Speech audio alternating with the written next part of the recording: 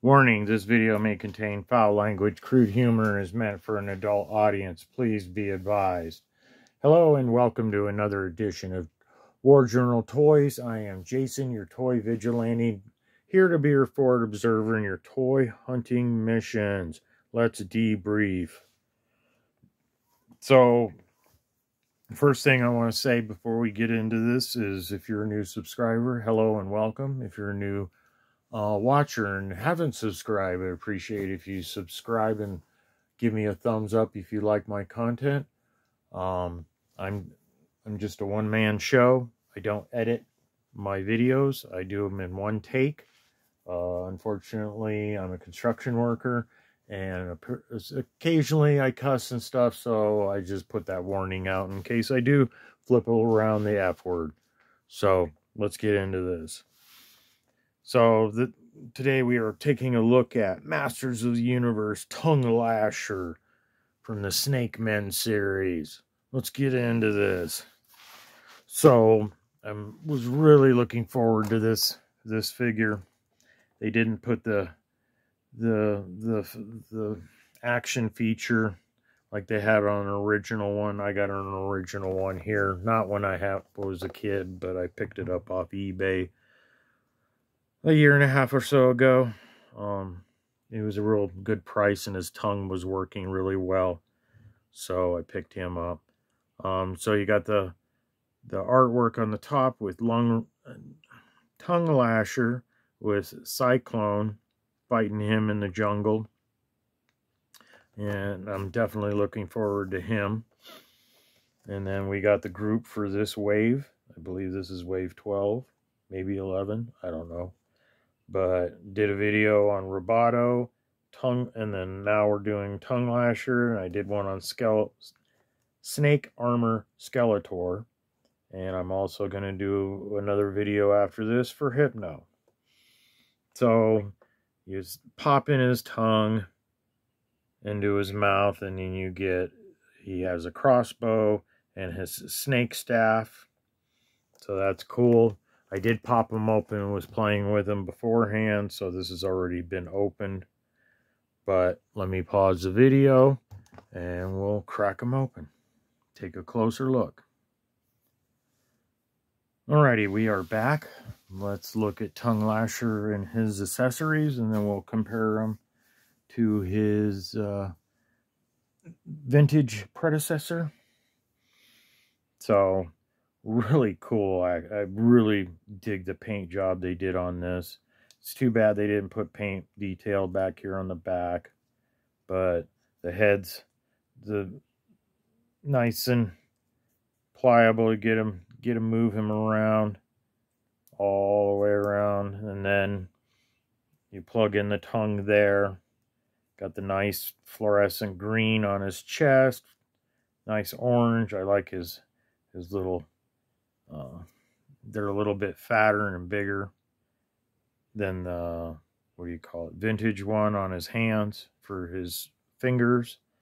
The feet are pretty much the same, kind of the same coloring. Black, black underwear. So let's uh, plug in his tongue. One of the biggest things I don't like about this fucking tongue thing is plugging it in. This is going to be the first damn thing that you lose, really. I mean, it's not it's, it's not going to be easy to see if you drop it. And if you have carpet, you might be fucked.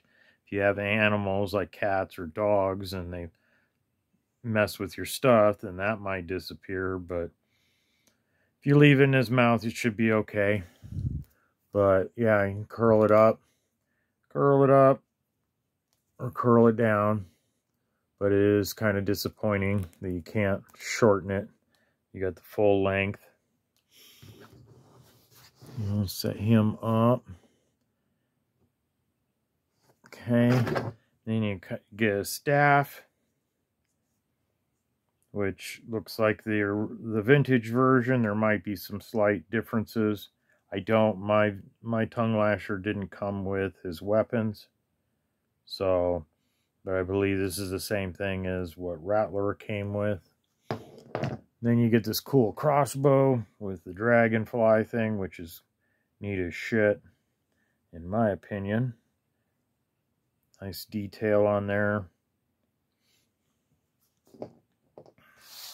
Then it comes with a comic book, which we don't have to really get into.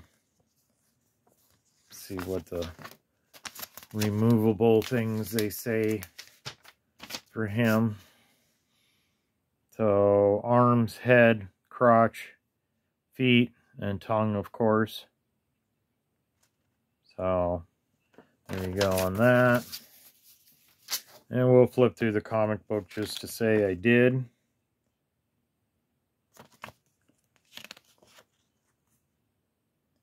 case this is the only video out of this wave you watch. But yeah, neat artwork. So let's uh, do a comparison. So here's a vintage one. Sorry for me moving on camera, guys, because just a pain in the ass. And it's just my phone. So let me pause the video. We're going to scoot this camera down. Okay, we're back. On the right side here is a vintage Tung Lashor this is an Origins new retro version. You can see that the retro version is taller than the vintage one.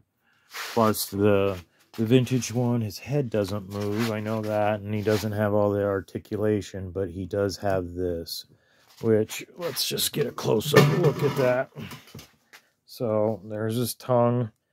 And in, out, nice and smooth got good color on it. Let me show you the color. So I picked this up for like, I don't know, 15 bucks, 20 bucks with shipping. You can see the difference between their eyes and the camouflage in the head. You got a little bit darker striping, but the chest is pretty close. Let's put your tongue away. We can look at the chest armor. You can see that the gloves on the right side are just a little bit smaller than the ones on the left on the Origins figure. Then the feet, same same thing. Black crotch with a black belt. So let's get this in here if possible.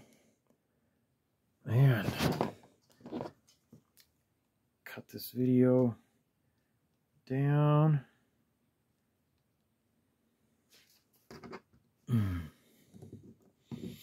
So guys, I'm Jason. This is War Journal Toys with Tung Lashor from Masters Universe Origins, comparing them with the vintage version, which that's not agreeing with me. So if you like my content, like my reviews. I got a bunch of them. There's 200 something videos. Uh, why I'm called War Journal Toys is I'm a big Punisher fan. But when they only put one or two Punisher action figures out a year, uh, it's kind of disappointing. So when the the Masters Universe came out, I really liked uh, the Castle Grayskull and what they did with that. And I went down the rabbit hole. So I'm Jason. This is War Journal Toys. If you like my content, please like, share, subscribe. Give me a big thumbs up on your way out, and I will see you on the next one.